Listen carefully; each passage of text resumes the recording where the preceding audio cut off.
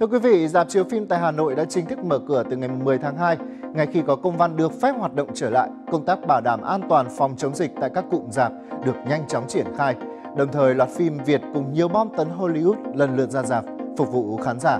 Ngay lập tức thì trên mạng xã hội TikTok đã xuất hiện trend review các bộ phim thông qua hashtag TikTok soi phim.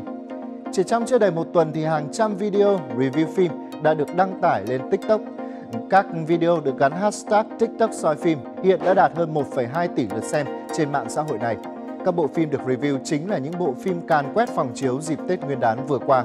Từ các bộ phim Việt như là Bẫy ngọt ngào, 1990, Chìa khóa trăm tỷ, đến các bộ phim nước ngoài như Án mạng trên sông Nin, Sings phần 2.